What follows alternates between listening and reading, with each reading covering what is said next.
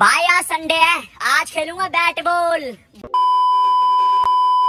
जो जोगिंदर फरा भाई जोगिंदर इतने छक्के मारेगा, इतने चौके मारेगा, किसी ने सोची ना होगी। अगर आप भी अपनी किसी भी वीडियो में बैड वर्ड को म्यूट करके बीप साउंड इफ़ेक्ट को लगाना चाहते हैं तो ये करना बहुत ही ज़्यादा इजी है। आपको सिंपल ओपन करना है फिल्मोरा को, और फिर आपको उस वीडियो को इम्पोर्ट कर लेना है, जिसमें आप किसी बैड वर्ड को म्यूट करके बीप इफ़ेक्ट लगाना चाहते हैं। इम्पोर्ट करने के बाद में आपको उसको सिलेक्ट करके अपनी फ़र्स्ट लेयर पे एड कर देना है। हाँ मुझे पता है इस वीडियो में कोई भी बैड वर्ड नहीं है, पर अपन मान लेते हैं कि यहाँ से कोई बैड वर्ड चालू हुआ है तो आपको सिंपली सीजर के ऊपर क्लिक करना है, और जहाँ पर बैड वर्ड खत्म होता है। आपको सिंपली वहाँ पर एक और कट लगा देना है। कट लगाने के बाद में आपको इसको वॉल्यूम को पूरा ज़ीरो कर देना है। और ये करने के बाद में आपकी जो ज़ीरो वॉल्यूम वाली वीडियो है, आपको इसके ऊपर डबल क्लिक करना है। और ऊपर की तरफ़ आपको थर्ड ऑप्शन मिलता है मोशन ट्रैकिंग आपको सिंपली इसके ऊपर क्लिक कर देना है। और थर्ड ऑप्शन को सिलेक्ट करने के बाद में आपको अपनी स्क्रीन के ऊपर एक रेक्टेंगल दिख जाता है। आपको सिंपल इसको स्मॉल करना है। स्मॉल करने के बाद में आपको इसको एडजस्ट कर देना है माउथ के ऊपर। और एडजस्ट करने के बाद में आपको स्टार्ट ट्रैकिंग के ऊपर क्लिक कर देना है। और दोस्तों, आप यहाँ पे देख सकते हैं, पूरा मोशन ट्रैक हो चुका है। तो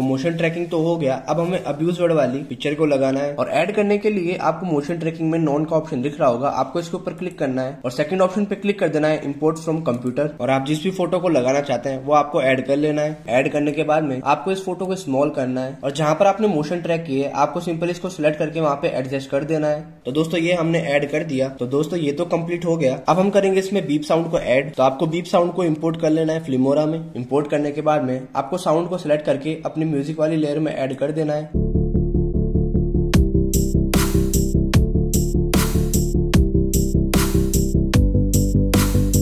तो ये बीप साउंड ऐड हो चुका है। अब हम इसे एक बार प्ले करके देख लेते हैं। भाई आज संडे है। आज खेलूँगा बैट बॉल